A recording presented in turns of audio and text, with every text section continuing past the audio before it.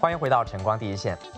不晓得大家对于蜜蜂这个昆虫有什么样的感觉？是不是马上会想到，如果被蜜蜂叮咬，可能受伤甚至丧命，而对蜜蜂是敬而远之呢？但是你知道吗？这个小小的蜜蜂啊，如果没有它们帮助传播花粉播种，全球人类将陷入粮食短缺的危机。联合国最新的一项报告显示，如果像蜜蜂这样的花粉和种子传播媒介从地球上消失，人类将失去现有的四分之三的粮食。除了粮食，野外的开花植物也有九成会消失不见。这样一听，蜜蜂的角色可说是至关重要。但是这几十年来，因为生态环境遭到破坏等原因，导致蜜蜂的数量是越来越少了。美国总统奥巴马早前呢还亲自下令成立了政府的特别小组，专门为蜜蜂进行保育工作，而且还会拨出国家预算的五千万元。世界各国近几年也掀起了一股蜜蜂保育的浪潮，在欧洲还有学者呢，专门研究蜜蜂的交配过程，了解怎么帮助它们继续繁殖下去。今天的主演天下，我们就一起去了解一下。蜜蜂是生态环境不可或缺的重要一员，它们能成功繁衍，保持生态平衡，对整个生态系统至关重要。德国的科学家发现，蜜蜂在交配前，母蜂会选择交配的对象。而工蜂在交配前会通过震动的方式向母蜂传递信息，包括自己的来源地等等。So the females apparently choose males from their own population. So German females prefer to mate with German males, and English females with English males, and Danish females with Danish males. So we already knew there's something going on. There's some sort of selective mate choice, we call it. 专家也指出，工蜂其实是通过肌肉的收缩来制造震动。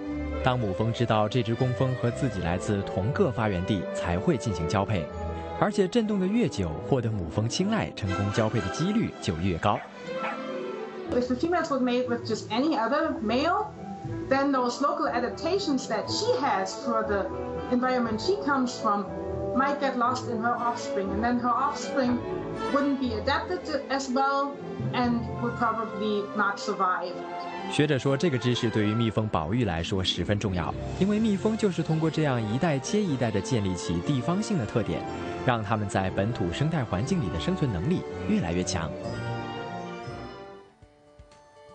欧盟一项研究就发现，欧洲各国都出现了蜜蜂大量死亡的现象。在法国，2013年到2014年，蜜蜂数量锐减了百分之二十三；德国是百分之九，意大利则是百分之五。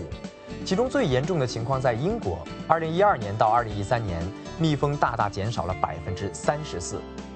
如果这个情况继续下去，将对欧洲农业带来一定的影响。欧洲科学家因此呢，研发出了一种系统，他们可以追踪一个蜂巢的健康状况，一旦察觉到蜂巢蜜蜂数量减少，就可以及时的做出补救的措施。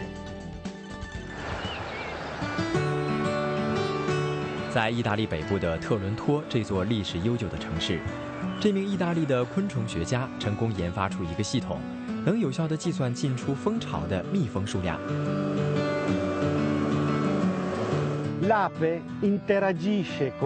这名昆虫学家保罗说：“蜜蜂对周遭的环境十分敏感，周围环境只要出现小小改变，就会影响蜂巢情况。”专家说，多达九成的开花植物都是由蜜蜂采集花蜜来传播花粉。保罗和团队研发出的这个蜜蜂追踪系统，在蜜蜂巢上的十四个孔洞，每次只能让一只蜜蜂经过，每经过一次就会产生一次磁场反应。系统也会记录当时的天气数据，还有蜂巢内部的温度以及重量等等。最后，这些数据都会上载到云端数据库，方便监督。这样的系统一个售价九百九十美元，可以同时监督多达十五个蜂巢的状况。专家也说，蜜蜂数量的减少是很多因素造成的，因此只有对蜂巢的所有情况都清楚掌握，才能够更好地分析蜜蜂数量减少的原因，并找出对策。好了，今天的节目就播放到这里，感谢您收看《晨光第一线》。如果您想重温我们的节目，可以到我们的 Facebook 网页或者浏览八频道新闻及时事节目网站，以及下载我们的应用程序。我是杨振华，明天我们再见。